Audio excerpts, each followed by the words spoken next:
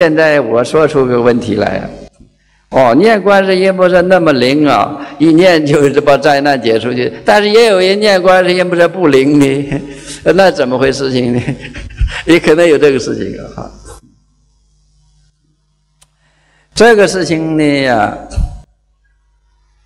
别说是啊，或者会啊，老虎来了啊，一下子我念观世音菩萨也没灵，老虎把我吃掉了啊，或者元帅吉普鞋把我吃掉了，我念观世音菩萨也没有什么 一点一点的动静没有，也有这种事情哈。但这这个事情呢也很难说的哈。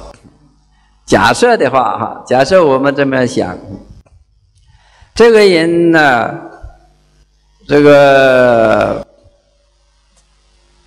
所以说遇见老虎了哈啊，张牙舞爪来了哈，那么念观世音菩萨灵了啊，这个灾难就解除了。解除了以后，这个人呢，他做了很多的恶事，造作了很多的恶事，很多的罪，然后就死掉了。如果要是这个老虎来了的时候，念观世音菩萨不灵。老虎就把它吃掉了，所以它就死了。死了，这时候这个这个罪就没造成，罪就是没造成。而观世音菩萨救护众生啊，观世音菩萨大智慧啊，和我们人不同啊。我们人看，呃，观察一件事啊，就是看眼前，就是看眼前。那大概是明天怎么样都不看不到。就是看现在，就是看现在啊，呃，所以就是有的时候哎呀灵了，有时候不灵了，就是这样执着分别。观世音菩萨不是也看过去，也看现在，也看未来的呀。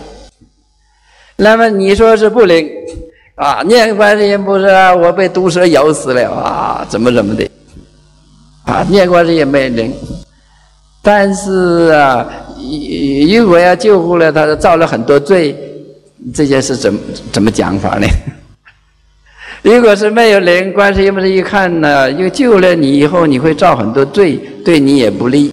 不如你死了以后啊，再重新换一个身体呀，能遇见三宝，没有罪的障碍啊，哦，你能够成得道了啊，升到阿弥陀佛国去了，那不是很好吗？但是这件事，观世音菩萨他不吱声，他也不说什么，不说什么呢？你也不知道。那你就是说，哎呀，观世音菩萨不灵，只是这个这个不灵这句话呀，是我们凡夫右眼说出来的，靠不住的呀。所以灵与不灵啊，在观世音菩萨的智慧的观察下呀，应该怎么样做就怎么样做。所以说是我们向观世音菩萨有所求的时候啊。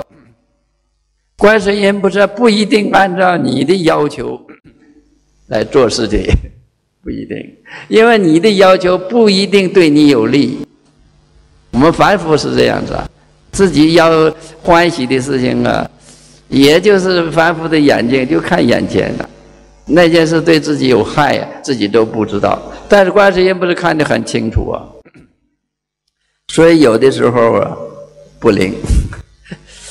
所以这个不灵啊，其实就是灵，其实就是灵啊！好，所以我们应该呀，多读一些经论呢，可能会对观世音菩萨的慈悲心呢，会认识的更清楚一点。好。